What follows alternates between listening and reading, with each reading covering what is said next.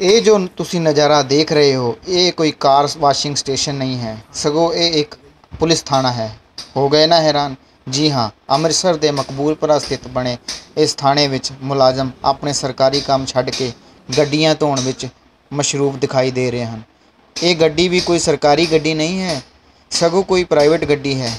ਥਾਣੇ ਦੇ ਮੁੱਖ ਗੇਟ ਦੇ ਵਿੱਚੋਂ ਵਿੱਚ ਇੱਕ ਮੁਲਾਜ਼ਮ ਗੱਡੀ ਨੂੰ ਖੜੀ ਕਰਕੇ ਸਰਕਾਰੀ ਪਾਣੀ ਨਾਲ ਧੋਣ ਵਿੱਚ ਇੰਨਾ ਰੁੱਝਿਆ ਪਿਆ ਸੀ ਕਿ ਉਸ ਨੂੰ ਇਸ ਗੱਲ ਦਾ ਪਤਾ ਹੀ ਨਹੀਂ ਲੱਗਾ ਕਿ ਉਸ ਵੱਲੋਂ ਵੇਸਟ ਕੀਤਾ ਜਾ ਰਿਹਾ ਪਾਣੀ ਗੇਟ ਤੇ ਖੜਾ ਹੋ ਰਿਹਾ ਹੈ ਅਤੇ ਇਸ ਚਿੱਕੜ ਤੇ ਕਿਸੇ ਵੀ ਆਮ ਵਿਅਕਤੀ ਦਾ ਪੈਰ ਫਿਸਲ ਸਕਦਾ ਹੈ ਅਤੇ ਉਹ ਸੱਟ ਖਾ ਸਕਦਾ ਹੈ।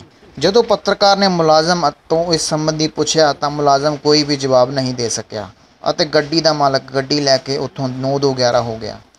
ਜਦੋਂ ਇਸ ਸੰਬੰਧੀ ਥਾਣੇ ਦੇ ਐਸਐਚਓ ਨਾਲ ਫੋਨ ਤੇ ਗੱਲ ਕੀਤੀ ਗਈ ਤਾਂ ਉਹਨਾਂ ਕਿਹਾ ਕਿ ਮੈਂ ਬਾਹਰ ਹਾਂ ਅਤੇ ਆ ਕੇ ਗੱਲ ਕਰਾਂਗਾ। ਤੇ ਜਦੋਂ ਉਹ ਵਾਪਸ ਆਇਆ ਤਾਂ ਪੱਤਰਕਾਰਾਂ ਨੂੰ ਉੱਥੇ ਦੇਖ ਕੇ ਕੰਮ ਦਾ ਬਹਾਨਾ ਬਣਾ ਕੇ ਇੱਧਰ ਉੱਧਰ ਟਾਈਮ ਪਾਸ ਕਰਦਾ ਰਿਹਾ। ਜਨਤਾ ਦੀ ਸੇਵਾ ਲਈ ਤਾਇਨਾਤ ਪੁਲਿਸ ਜੇਕਰ ਆਪਣੇ ਫਰਜ਼ ਅਤੇ ਡਿਊਟੀ ਨੂੰ ਭੁੱਲ ਕੇ ਇਸ ਤਰ੍ਹਾਂ ਪ੍ਰਾਈਵੇਟ ਕੰਮ ਵਿੱਚ ਲੱਗੀ ਰਹੇਗੀ ਤਾਂ ਆਮ ਲੋਕਾਂ ਦੀ ਸੁਣਵਾਈ ਕੌਣ ਕਰੇਗਾ?